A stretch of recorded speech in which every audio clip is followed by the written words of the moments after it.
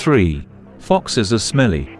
Foxes have scent glands located on their paws and around their anus, which they use to mark their territory and communicate with other foxes.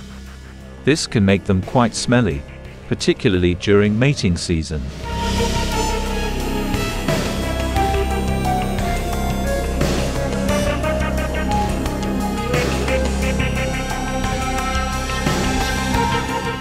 Four.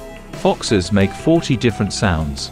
Foxes are incredibly vocal animals, and they can make up to 40 different sounds. These include barks, screams, whines, and even a distinctive gekker call that they use to communicate with each other.